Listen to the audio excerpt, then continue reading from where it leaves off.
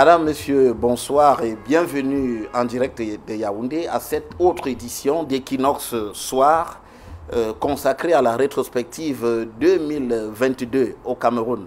Ce soir, nous nous intéressons au volet économique en 2022 avec euh, un arrêt sur le budget, notamment son exécution, la balance euh, commerciale, la croissance et bien entendu la dette et enfin l'introduction au moment où cette année s'achève de nouvelles coupures de billets de francs euh, CFA par la Banque des États euh, d'Afrique centrale BEAC.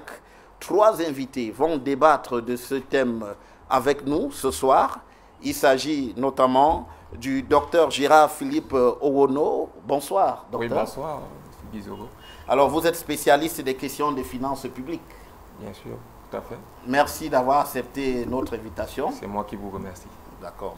Euh, merci encore. Et nous avons également avec nous sur ce plateau Pascal Dibamou. Bonsoir. Bonsoir, bonsoir aux auditeurs, aux téléspectateurs d'Equinox et surtout ceux qui sont à Bangan Pogo actuellement. D'accord. Et je rappelle que vous êtes journaliste, directeur de publication euh, du quotidien EcoNews qui traite des questions économiques. Effectivement, qui va, fêter, va entamer sa troisième année dès janvier. D'accord. Merci encore d'avoir accepté de venir sur le plateau d'Equinox Télévision. Euh, un autre confrère va nous rejoindre sur ce plateau dans quelques instants. Il s'agit de Omer Mbadi Otabla, journaliste économique en service au panafricain, à l'hebdomadaire panafricain Jeune Afrique, où il s'occupe également des questions Alors, monsieur, docteur euh, Gérard Philippe Owono, euh, Pascal Dibamou, on commence par vous, docteur. L'année économique 2022 au Cameroun, comment est-ce que vous l'avez perçue euh, globalement? Merci, monsieur Guizoro. C'est toujours un réel plaisir pour moi de, de nous, que je me retrouve dans ce plateau. Et je remercie également vos télé de milliers de téléspectateurs. Alors, la situation économique du Cameroun au courant de l'exercice 2002 a été 2022, 2022 merci. Je la situerai d'un point de vue ambivalent. C'est-à-dire, premier cas, d'un point de vue positif, on peut se rendre compte que depuis le début du premier trimestre, l'économie camerounaise a connu des embellies. C'est-à-dire que les exportations ont suffisamment augmenté. Et ça, ce sont des chiffres de 45,8%, si je me porte, si je ne me trompe pas, des chiffres qui nous ont été donnés par l'Institut national de la statistique. Mais il n'en demeure pas moins qu'avec l'évolution de la crise ukrainien-russe, cela a connu des soubassements. Ces soubassements sont dus notamment à l'inflation des produits de matières premières, également à la chute, n'est-ce pas, du prix euh, du pétrole sur le cours du marché international. Relativement à partir, du moins au regard de ces différents éléments, on peut tout de même dire que la résilience de l'économie camerounaise a fait face à ces différents chocs. C'est la raison pour laquelle donc, je situerai, donc, euh, comme je l'ai dit dans mon propos d'entame, que le Cameroun, à l'heure actuelle, avec le budget de l'État qui a été voté, devrait davantage revoir ses politiques macroéconomiques afin d'adapter en réalité ces politiques-là avec la réalité sociétale. Qu'est-ce que j'entends par réalité sociétale? On se retrouve dans un contexte actuel où le pouvoir d'achat, le panier de la ménagère, la hausse des prix généralisés sur le marché ne sont pas de nature à favoriser du moins à ce que du moins la ménagère puisse, n'est-ce pas, bénéficier d'un revenu assez stable et partant résoudre ses problèmes quotidiens. Donc, euh, il faudrait que les pouvoirs publics puissent euh, revoir à un certain moment les politiques qui sont mises en œuvre. Donc, euh, voilà modestement ce que je pourrais dire d'entrée de jeu. Voilà, merci pour cette première sortie. Pascal Dibamou, sur cette question-là, l'année 2022, au plan économique au Cameroun, qu'est-ce que vous en avez retenu? On a fait preuve de résilience, surtout qu'il y avait, dès l'entame de l'année, il y avait trois défis à atteindre. D'abord, le problème de la dette publique, il y avait également les exportations qui étaient très faibles, d'autant plus qu'on a commencé depuis euh, novembre 2021 à connaître la hausse des prix euh, de base sur le marché due à, la, crise euh, au non, Covid-19, COVID 19 covid 19 et le Cameroun devait également gérer ce problème de déficit. Ça fait que cela a impacté au cours de l'année, vers la fin de l'année, on a, on a connu, on a connu euh, la baisse des, exportations, euh, des, exportations de pétrole. Et également, on a connu également, également la baisse des importations, ce qui a, failli créer une récession en fin d'année. Heureusement que le gouvernement s'est rattrapé. Il y a eu également la baisse des exportations des produits agricoles. Produits agricoles. Et il faut aussi connaître qu'au cours de l'année 2022, on a eu euh, euh, l'augmentation du taux de chômage. Vous savez qu'on est passé de 24,5% en, 2000, en, 2000, en 2019 pour se retrouver, quand on se retrouve à 27,3% en 2021, ça n'a pas beaucoup été amélioré en 2022. Donc l'année s'est terminée avec beaucoup d'espoir, surtout qu'il a fallu que le gouvernement prenne certaines réformes. Des réformes qui se font sentir déjà au niveau de la loi de finances qui entre en exécution d'ici le 1er, le 1er janvier. On nous parle, on nous dit que la vie va, sera tellement chère. Il faut savoir que depuis, depuis quelques années, on connaît un déficit sur notre balance, balance commerciale. Notre PIB qui est et je n'aime pas trop les valeurs relatives, qui a 44,1 milliards de francs CFA, avec un PIB par habitant de 1756 euh, euh, de, dollars, dollars, dollars américains. Ce qui fait que la vie sera tellement chère, pas si chère comme nous fait croire notre, docteur. Tout à l'heure, on aura le temps de, discuter tout à l'heure concernant de coûter la vie chère, d'autant plus qu'il ne suis pas là pour défendre le gouvernement, mais comprenez quand même qu'on donne quand même quelques éléments euh, de, Donc Vous, estimez que la vie ne sera pas plus chère en 2023 Pas si cher comme, euh, comme on nous fait croire. parcouru le budget 2023, euh, c'est vrai que nous parlons de 2022, mais c'est déjà une projection. Quand vous avez parcouru le budget avec l'introduction d'un certain nombre de taxes, est-ce que cela n'induit pas que la vie sera effectivement plus chère? Il faut savoir, que depuis, depuis certaines années, mhm. pratiquement, même pratiquement 5 ans, 5 ans, le Cameroun connaît un déficit un peu accentué de sa, de, de, de sa balance commerciale. Et il faut connaître les, les comptes courants sont déficitaires. Comment est-ce qu'il fallait faire pour financer cela? L'État devait revoir quelques réformes. C'est vrai qu'il a annoncé d'ici euh, d'ici le début d'année 2021 la réforme de, euh, de, la fiscalité camerounaise pour essayer de revoir certain nombre de choses. L'État a essayé de voir dans quelle mesure élargir son assiette pour permettre de diminuer son déficit. On aura toujours ce déficit-là mais on diminue simplement le déficit, on va le faire sentir. On sait que, on sait que c'est un produit de base. Il faut savoir que l'État veut, veut encourager euh, euh, la production locale. Production locale, il faut augmenter. Made in Cameroun. Made in Cameroun. C'est-à-dire que les produits qui vont venir de l'extérieur, si on continue à consommer le riz qui vient de Thaïlande, ça va coûter extrêmement cher. Mais on peut discuter parce que le riz n'indop coûte, coûte encore plus cher que le riz venu de Thaïlande.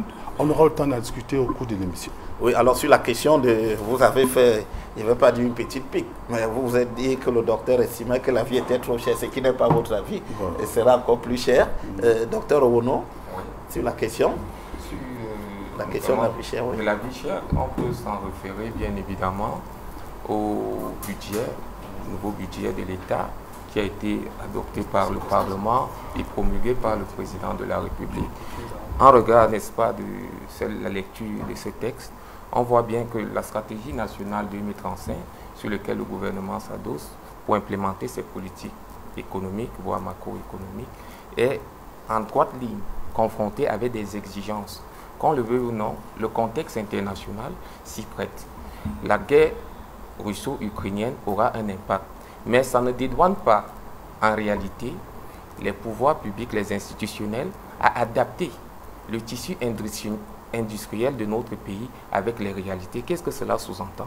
Cela sous-entend bien évidemment que nous avons des entreprises locales. Je prendrai le cas simplement de la sèmerie, puisque nous importons plus du riz.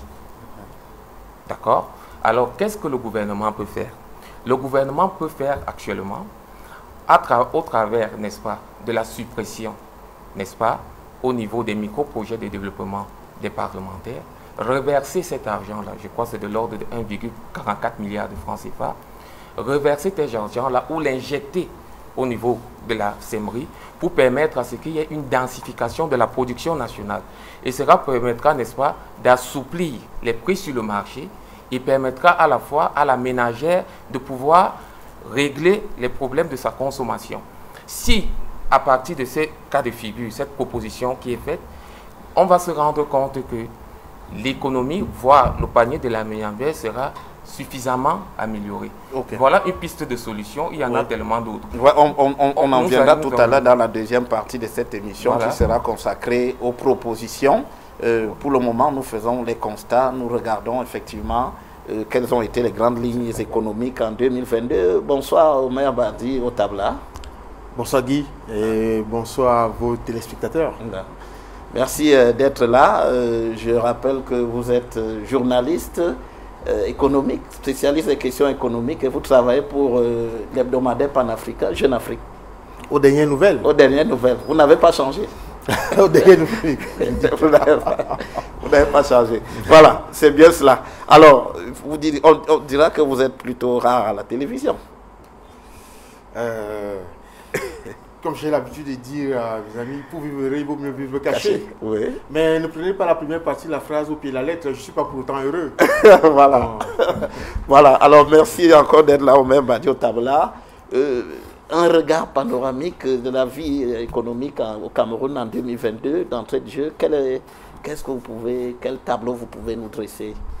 Moi, j'ai deux images. Hein. la, première image, c'est bien sûr euh, ce phénomène. de de la vie chère, sur euh, lequel euh, je crois on débat depuis quelques, minutes. Il y a bien sûr cela, mais la deuxième image pour moi aussi, c'est qu'il y a une opération quand même qui s'est euh, déroulée cette année. C'est le rachat par le groupe Castel à travers les brasseries du Cameroun de l'entreprise Guinness. Guinness oui. C'est quand même une opération de plus de 300 milliards de francs CFA. ça, il faut le faire. 300 milliards, c'est pas tous les jours qu'on a des opérations de ce type, mis à part le fait qu'on ne connaît généralement pas dans le secteur pétrolier et gazier le montant des opérations qui sont généralement faites, les conventions qui sont généralement signées entre la, SNH et... éventuellement euh, les, acteurs de, ces secteurs-là. Forcément, on va au-delà de 300 milliards, mais au moins pour une fois, que dans le secteur de l'agroalimentaire et principalement brassicole, quand une opération de cette ampleur, je pense quand même que c'est assez significatif. mais dans ce type d'opération, quelles, peuvent, quelles en sont les conséquences? Quel, est l'impact là au niveau euh, économique là? Qu'est-ce que ça, qu'est-ce que cela induit?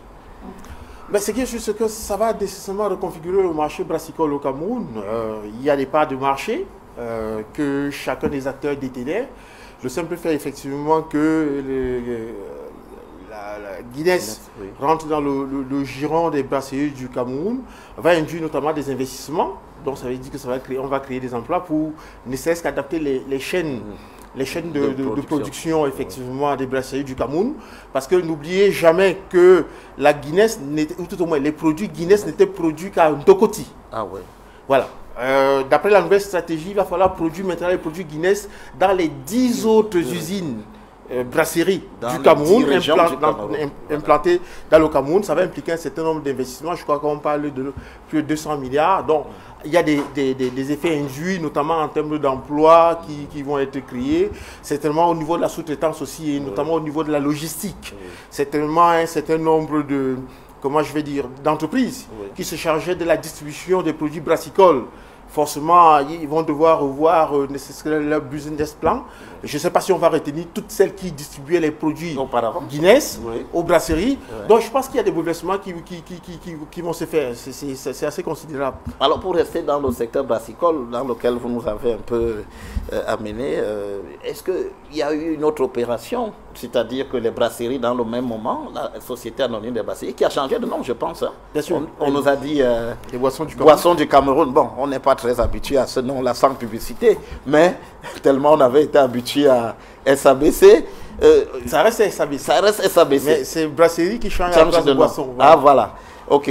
Alors, il y a eu la, la, la, la sortie de, de, de, Coca-Cola. Coca-Cola, oui. Ah ouais, puisqu'on ne voit plus Coca-Cola sur le marché. Effectivement. Mais, Coca-Cola se fait attendre là. Qu'est-ce qui se passe de ce côté? On a eu quand même. Euh, oui. Euh, bon, il, m'est arrivé de traiter un peu de ce sujet. Effectivement, j'ai rencontré au niveau du Cameroun les repreneurs éventuellement de cette, euh, cette marque, Coca-Cola.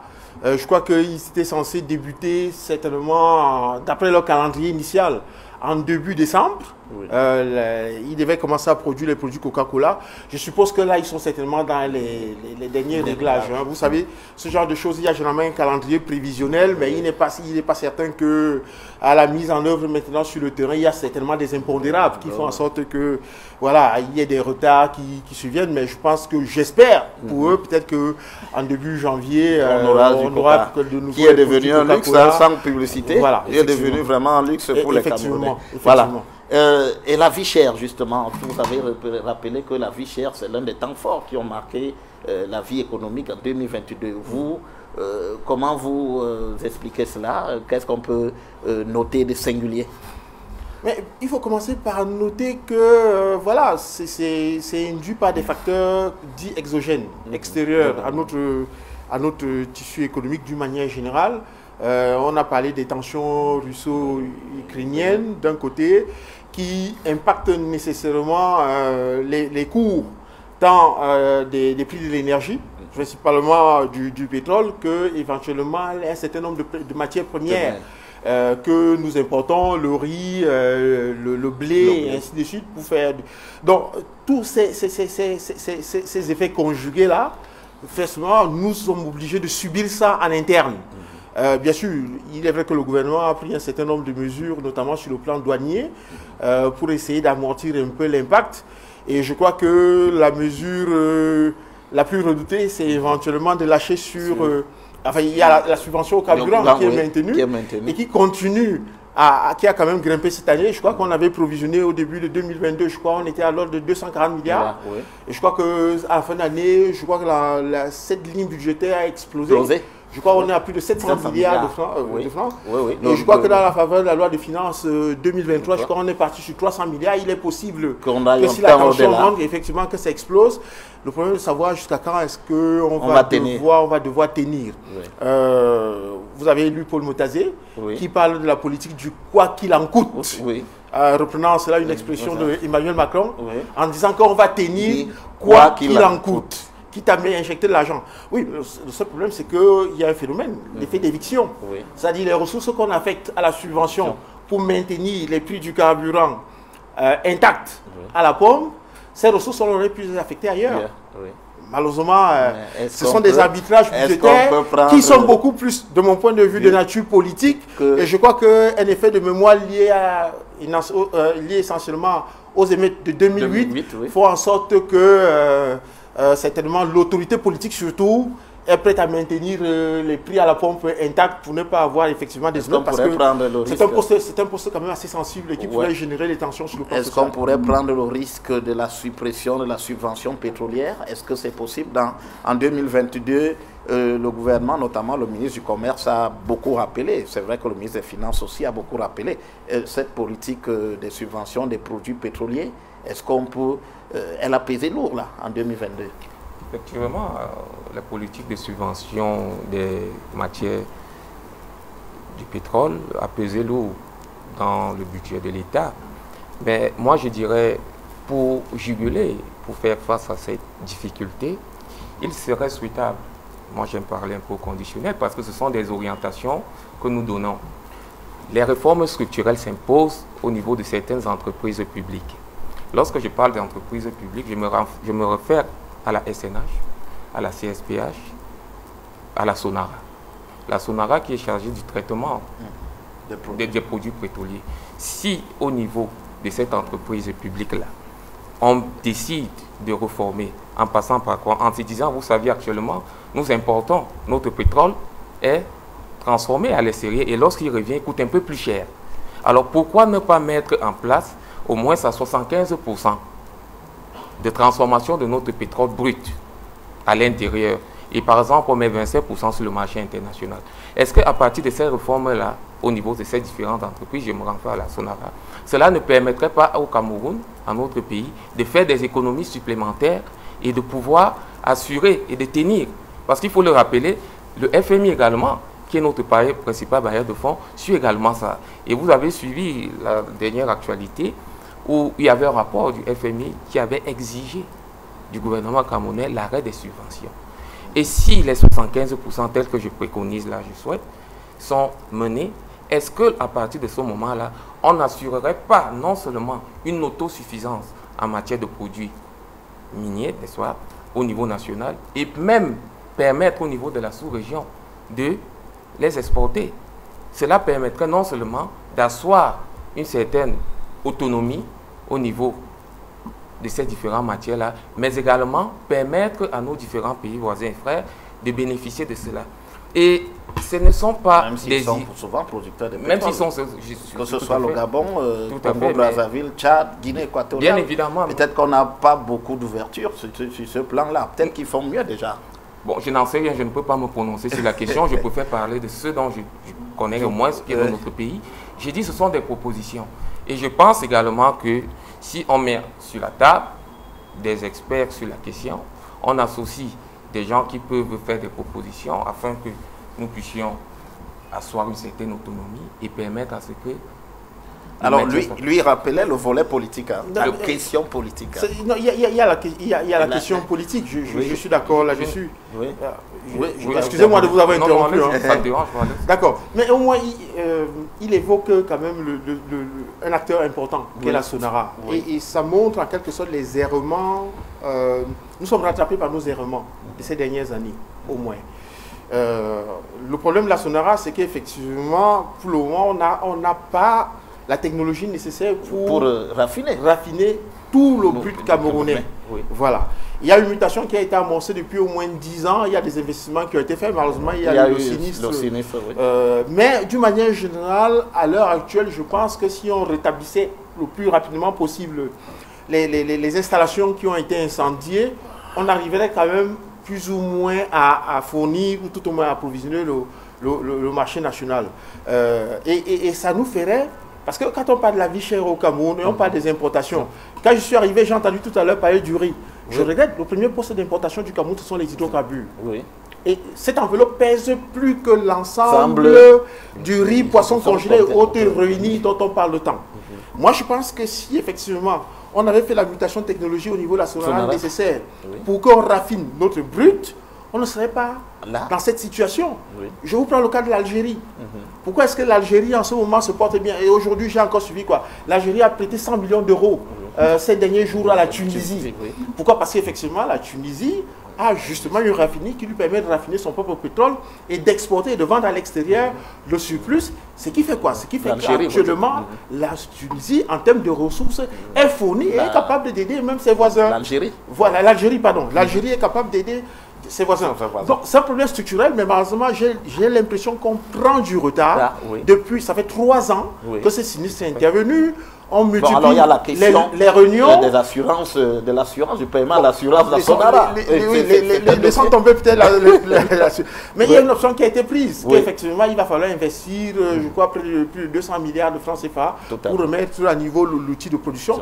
Sauf que entre les études, les réunions et autres, on veut risque encore de payer 3-4 ans. Mmh. Mais entre-temps, les camions vont continuer à subir en 2023-2024. Peut-être, sauf si éventuellement la tension, les la tension se réduit sur le front ukrainien et que les chaînes d'approvisionnement sur le plan international euh, retrouvent une capacité optimale. Alors la question euh, euh, du pétrole, justement, de ces subventions qui grèvent donc d'une certaine manière le budget, c'est-à-dire qu'exécution du budget, le budget 2022, Pascal Dibamou, on l'a vu quand même en septembre, lorsqu'on était en septembre là, on était encore à 54,41% euh, d'exécution physico-financière, euh, d'après les chiffres que nous, qui nous ont été donnés. Là, là, nous parlons du BIP. Hein. Oui, du BIP, naturellement. oui, là, il, faut, il faut savoir que le BIP, cette année, a connu quand même beaucoup des embellis hein, par rapport à l'exécution du BIP euh, en septembre, par rapport aux années antérieures. Parce que malgré que la crise ukrainienne a quand même impacté un peu les, chaînes de valeur et même d'autres secteurs, mais au niveau, au niveau du budget d'investissement public, les, les, fonds extérieurs qu'on appelle les FINEX se sont très bien comportés parce que au niveau du ministère de l'économie, tous les acteurs, les, même de la CA, tous les acteurs ont respecté les principes. C'est à caisse autonome d'amortissement Tous les acteurs ont respecté les principes de, de, financement extérieur. Et ça fait que euh, à la fin, lorsqu'on faisait des, calculs, on s'est rendu compte qu'on avait atteint plus, de, plus de 50, plus de 50, euh, oui, on 54, oui, on 54%. Or, maintenant, mais si on revient maintenant à l'intérieur, mhm. le, budget d'investissement public en interne n'a pas connu vraiment cette embellie. Dû à quoi? Des facteurs extérieurs.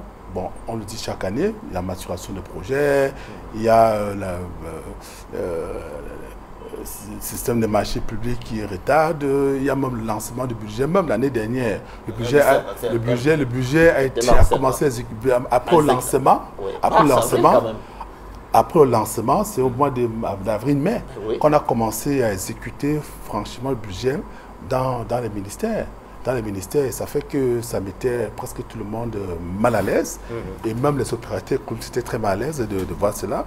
Mais d'ici d'ici euh, le mois de décembre, je ne connais pas un travail pas à ce niveau-là, d'ici le mois de décembre, on peut atteindre vraiment des chiffres très considérables si on était qui avoisinent presque les 100%. Si on était à 54%, euh, en septembre. Il faut savoir. On, il faut, être non, on espère, on espère parce que, il, faut savoir, il faut savoir, nous, sommes dans un budget programme. Oui. C'est un budget programme.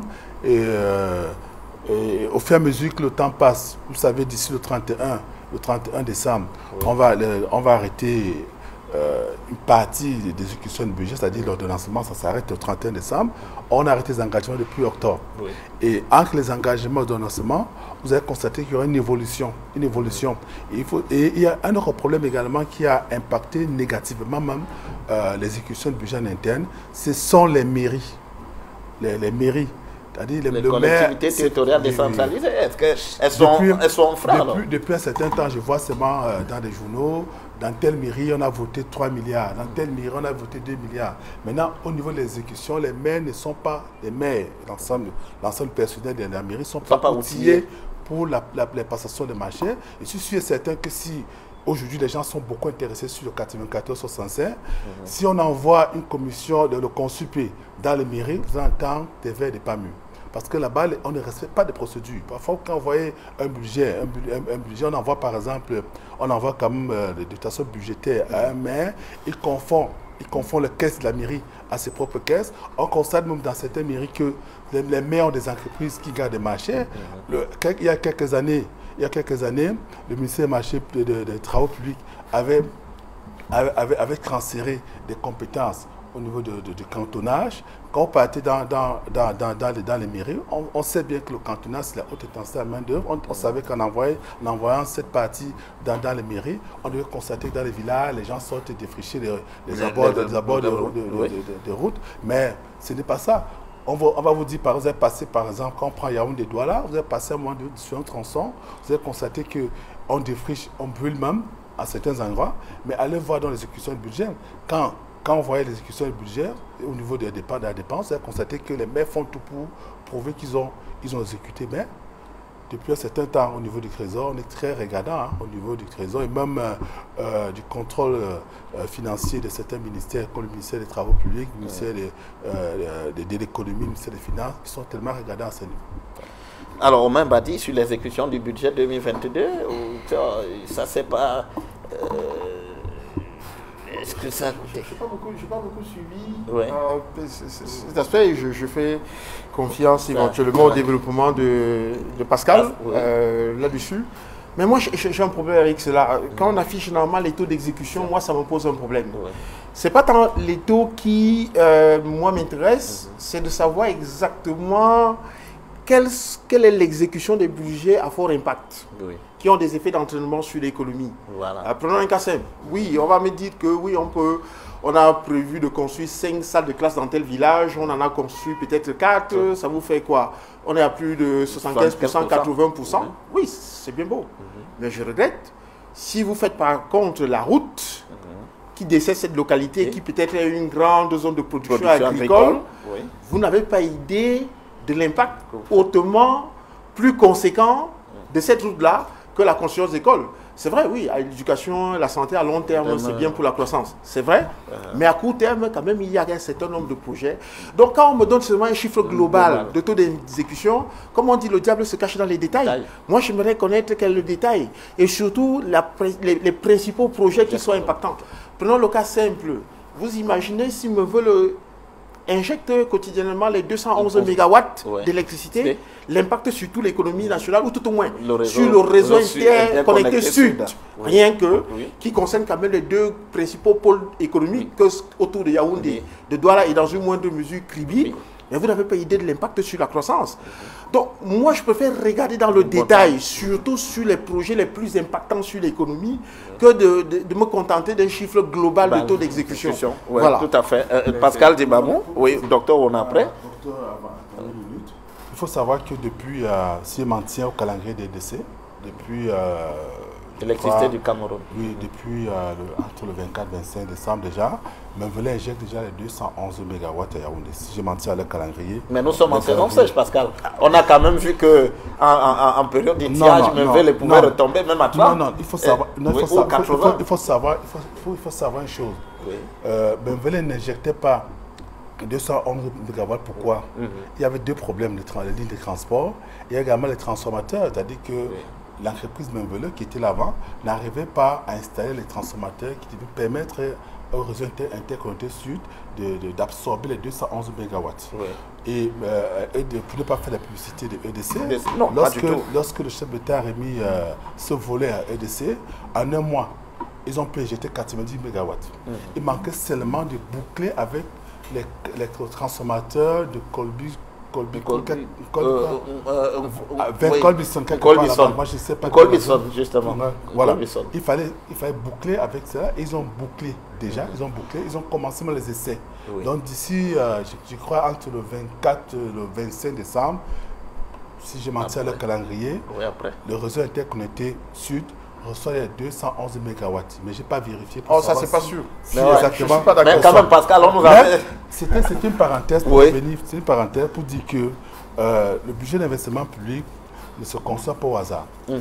Il y a ce qu'on appelle CDMT, CDMT où on, on essaie d'apporter des projets, on essaie de voir la faisabilité de chaque projet de chaque projet introduit dans le budget de l'État. Oui, puisque ça va de la base. Hein, voilà. Et on, sait bien, et on sait bien que, on sait bien que il y a des projets qui demandent un financement extérieur parce que notre budget ne peut pas supporter, cet investissement. Mhm.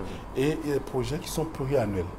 Maintenant, euh, pour le choix, le choix des écoles, des écoles, mhm. c'est chaque ministère sectoriel qui vient au niveau de, de CDMT avec leur projet essaie de voir la faisabilité par rapport au budget. Et, même est-ce que le projet a été bien maturé? Est-ce que le projet a été bien maturé pour pouvoir être exécuté? Je crois quand même que depuis quelques années au ministère de l'économie, ils sont très regardants sur la maturation des projets. Mais on sait quand même que là, on, a, encore, on a encore un gros déficit, donc parce qu'en euh, 2022, maturation des projets, on n'a quand même pas été forcément à la hauteur, non? Écoutez, je dis bien depuis quelques années, je peux dire depuis trois ans, hein, ils sont extrêmement regardants sur la maturation de projet. Il faut connaître une chose.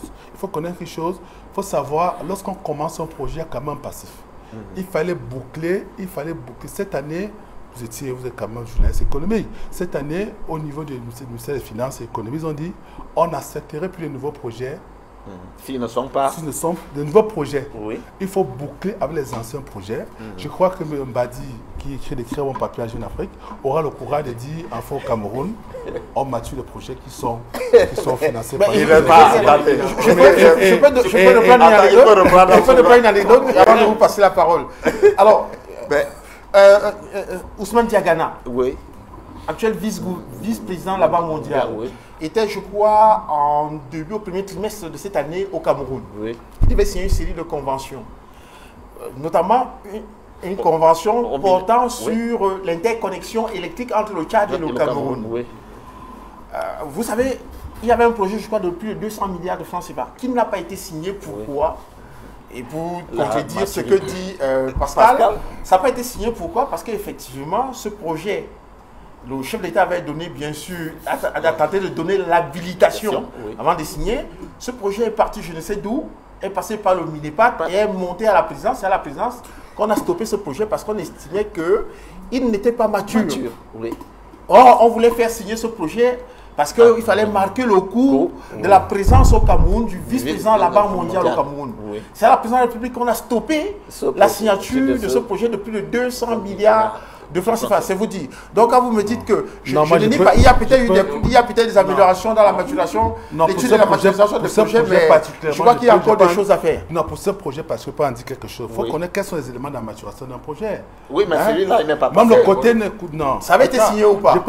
Non, écoutez, par exemple, à la présidence, c'est bien beau. Ça a été stoppé à la présidence pour d'autres éléments. Vous savez que le Cameroun, actuellement, traverse plusieurs défis. Vous n'avez pas des défis, des différents défis à la tête de l'émission.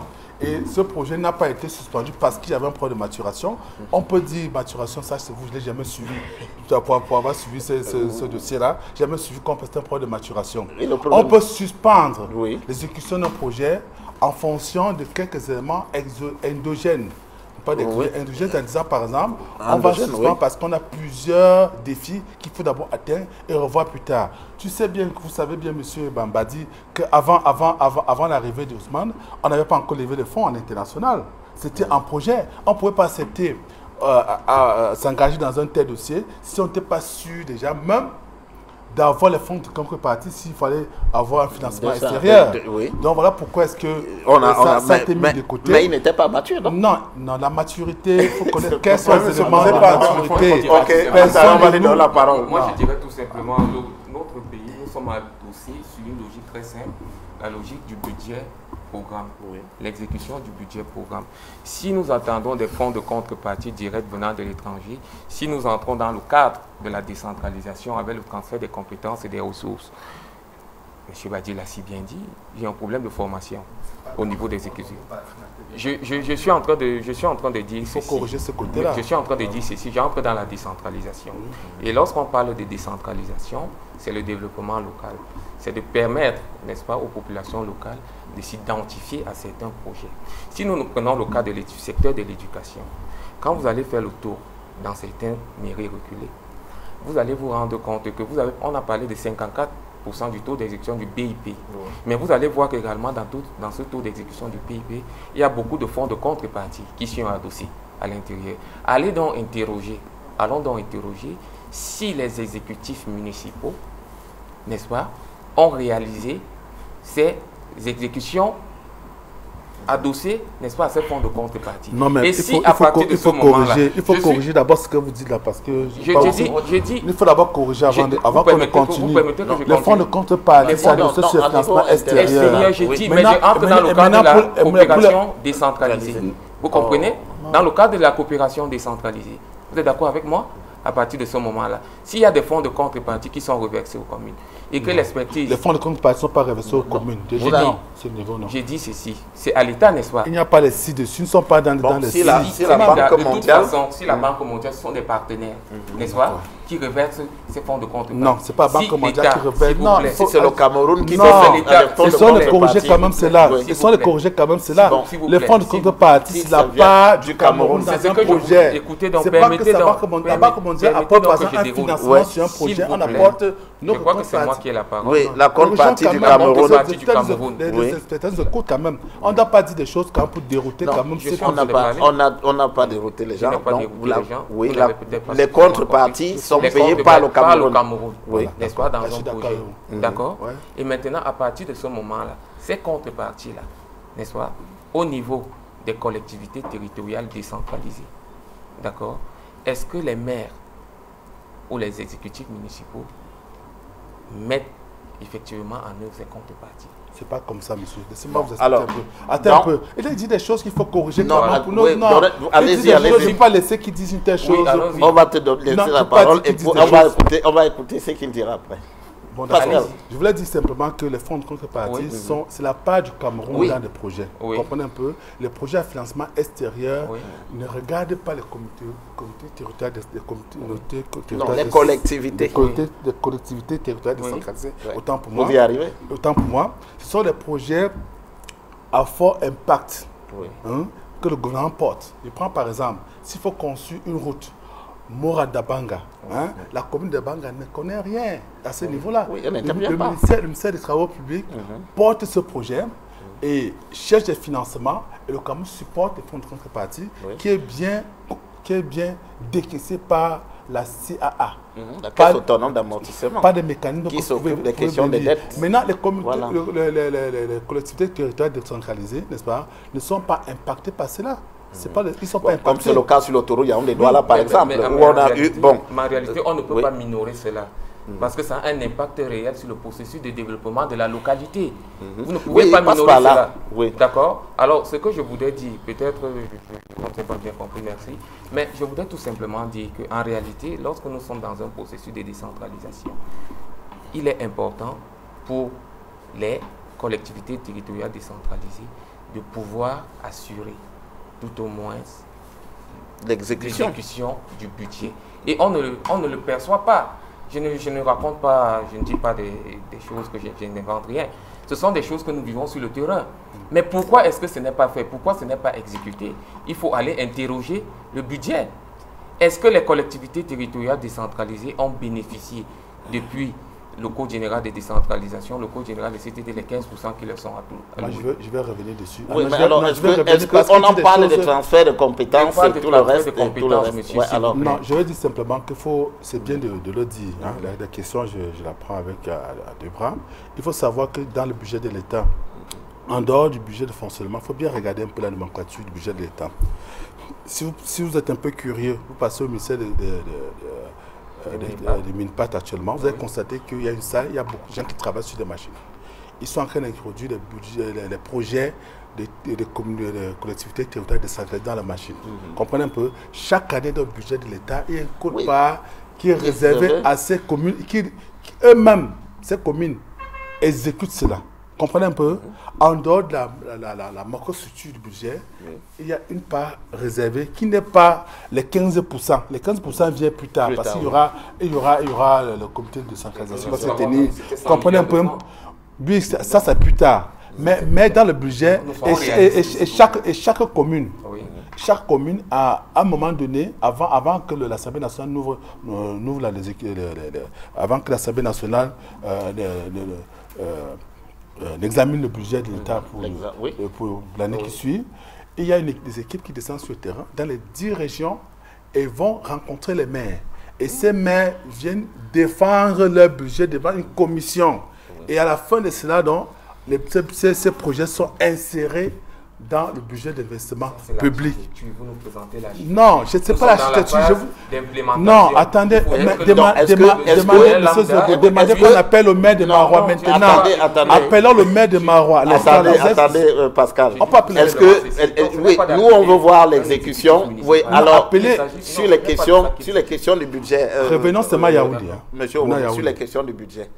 En 2022, ce qui nous intéresse, si vous avez ouvert la parenthèse sur euh, l'exécution budgétaire dans, euh, au niveau des communes, hein, parce que nous étions partis sur la question euh, de l'État hein, de manière globale. Si vous avez fait une parenthèse sur la question des, budgets, vous vous dites que rien, il n'y a pas beaucoup d'effets sur le terrain. C'est la thèse que vous défendez. Bien, bien, vous dites aussi qu'il n'y a pas les 15% qui étaient prévus. Mais en dehors, Pascal, les 15, dans les 15%, il y a quand même les salaires, les salaires personnels. Est-ce que les 15% sont réalistes en ne faisant pas, ne naviguant pas en vue? Je ne suis pas en train de, critiquer ou faire quoi que ce soit. Je dis ce qui est fait et ce qui est visible. Est-ce que ce que j'ai dit n'est pas réel? Il y a 5 ans, c'était pas, mais depuis bon, deux ans. Hein, le Code général de la décentralisation, c'est 2019, n'est-ce pas? Nous sommes d'accord? Non, ce que, je, ce que je voulais dire, c'est que nous sommes en tout cas, de toute façon, moi j'ai pris dans position... dans, dans, dans, tous les cas, n'est-ce pas? Ce que je voudrais dire ici, c'est que euh, nous sommes au niveau du budget de l'État. Oui, bon, la question, les questions de décentralisation, ça ne concerne pas le budget de l'État, ça c'est autre chose, ça c'est mm. d'autres fonds. Vous savez qu'on diversifie. vous ne pouvez pas on, on, cela, on, on, diversifie. Je ne peux pas accepter que vous le dites. Euh, euh c'est adossé euh, à cela, vous ne pouvez oui, pas... mais sur la question du budget de l'État, nous étions notamment au niveau de son exécution de manière globale. Euh, exécution physico-financière, on avait dit 54,41%. Alors vous, vous étiez plus optimiste en disant que d'ici la fin de l'année, nous sommes le 27 décembre. Bon, bon non, d'ici la, la fin de l'année, on peut, on, peut atteindre, on peut atteindre les 100%. Hein? Mm.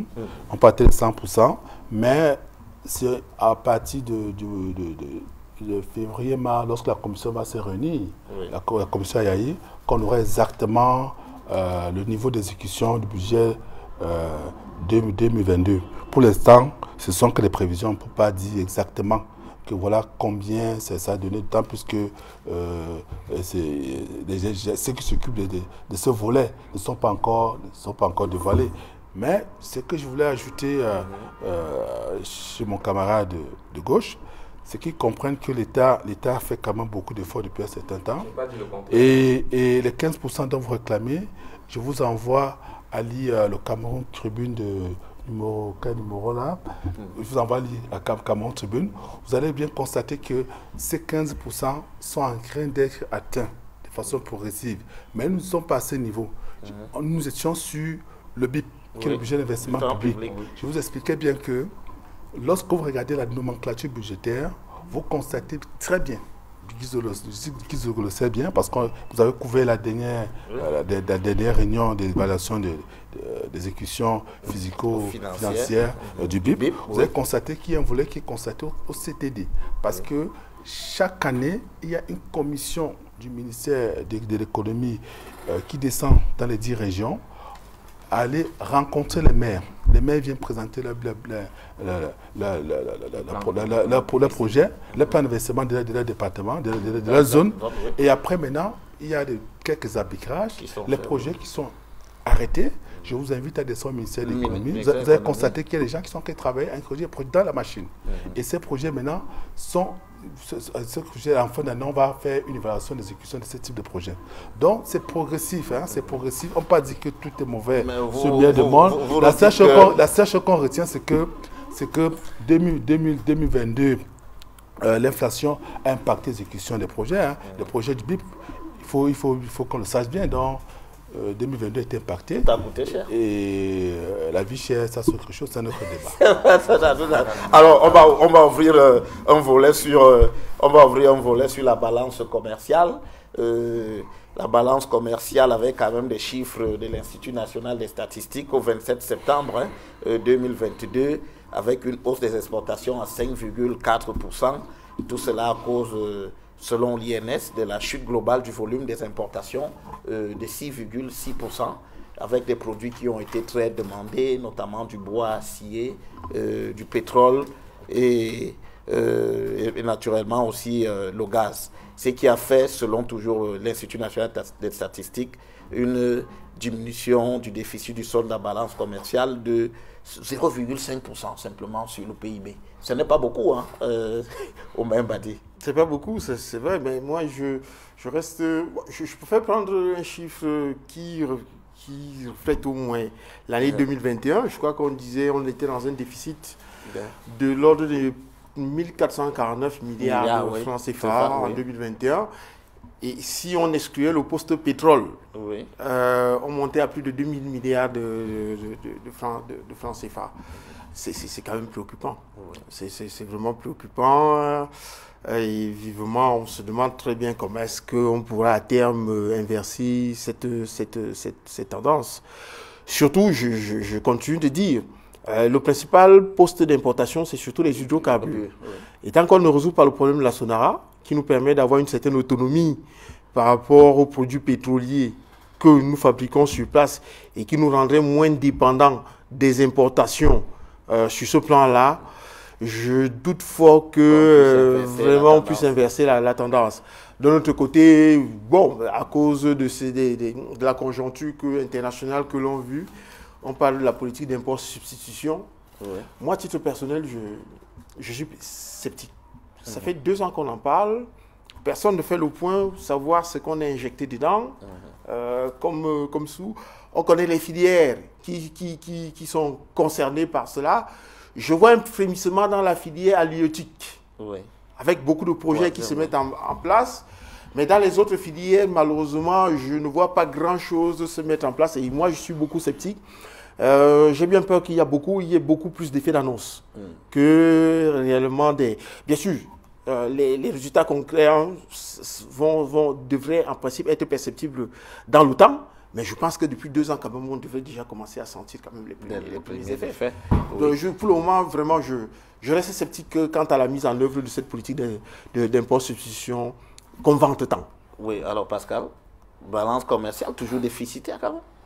En 2022, on n'a pas beaucoup... Euh, il n'y a, a, pas eu euh, grande évolution. Il n'y a pas eu de grande évolution, c'est tout à fait normal. J'ai dit bien à l'entame de l'émission que depuis de plusieurs années, hein, la balance commerciale du Cameroun a toujours été déficitaire. Lorsqu'on analyse la sémantique du PIB, on constate que euh, le Cameroun, ce n'est pas, pas pour demain. Hein. On, va, on va supporter comme ça peut-être jusqu'à l'horizon 2030 pour voir si on peut renverser la tendance. Mais les politiques sont en train d'être mises en place, bien qu'avec l'imposition, l'imposition, nous sommes encore en phase euh, d'implémentation. Et pour l'instant, on ne peut pas encore faire un bilan pour savoir exactement, exactement euh, les effets induits euh, de l'imposition. On sait, on sait qu'en début d'année, lorsqu'on lisait le budget 2022, l'État avait prévu injecter 50 milliards. Avec euh, la crise euh, russo-ukrainienne, ça a baissé à 30 milliards. Maintenant, comment est-ce que les 30 milliards sont répartis aux différentes filières? Je ne sais, n'en sais rien. Et maintenant, nos champions nationaux, nos champions nationaux on ne le voit pas beaucoup. Si on prend par exemple le cas du, chocolat, vous avez remarqué que le chocolat euh, des multinationales euh, coûte tellement moins cher. Lorsque vous avez euh, chocolat made in Cameroun, vous constaterez que ça coûte quand même extrêmement cher, extrêmement cher. Et je pense qu'à ce niveau, l'État devrait être davantage rigoureux. Les gens, les gens viennent demander des, subventions, mais à la fin, peut-être... on ne sait pas comment ils les utilisent on sait, mais il faut encore être plus avantageux, plus regardant dans euh, l'exécution. Vous savez, c'est bien beau de dire qu'on produit, on produit Made in Cameroun, mais ici, l'idéal, l'idéal, c'est industrialiser. Hein. On parle beaucoup de la transformation structurelle euh, de, l'économie. Je pense, industrialiser, c'est pas pour demain aussi. Il y a beaucoup d'entreprises qui se mettent en place. On a une industrie qui a eu quelques difficultés. Euh, dans, sa zone à cause de, problèmes. Bon. La, la, disponibilité de la matière première, oui, euh, docteur. Il y a un mot et puis on va. En, réalité, je ne serais pas dubitatif, moi je crois, mais je dis tout simplement que l'économie camerounaise étant résiliente. Si on regarde au premier trimestre 2022, on voit qu'on a fait des embellis. On a plus importé, plus exporté, autant pour moi que nous avons importé. À partir de la résilience de, de, cette, de notre économie, comment ne pas comprendre qu'on peut, à partir de se, servir tout au moins des mécanismes qui avaient été mis en place au premier trimestre? Pourquoi est-ce que, certes, nous ne sommes pas, nous vivons dans un monde global, les effets de la crise ukrainienne nous ont fortement impactés. Mais je crois que si la résilience de notre économie, comme on le dit si bien, peut nous permettre en réalité de faire un bon quand je le dis, par exemple, avant, dans mon propos d'entente, j'ai dit tout à l'heure que nous avons une industrie, la sémerie. Comment comprendre que nous importons plus du riz, par exemple? Mais si nous injectons plus d'argent au niveau de ces structures, par exemple, pour densifier sa production, on pourra faire face à ce choc extérieur. Mais ça dure quand même. même Cette balance commerciale c'est la structuration même de l'économie. Je suis tout à fait d'accord. Euh, mhm sera cher en, 2023 pour tenir que la vie sera chère en 2023. Après la pause, s'il vous plaît, voilà, après la pause, nous allons faire les propositions. La résilience, autant pour moi, mhm. d'une économie peut s'adosser également sur des premières initiatives qui ont été prises tout au moins à son premier trimestre. Mhm. On peut s'adosser sur là-dessus n'est-ce pas, implémenter ou alors pour projeter la suite. C'est tout. Alors, nous marquons une pause. Pascal Dibamou, on reviendra tout à l'heure.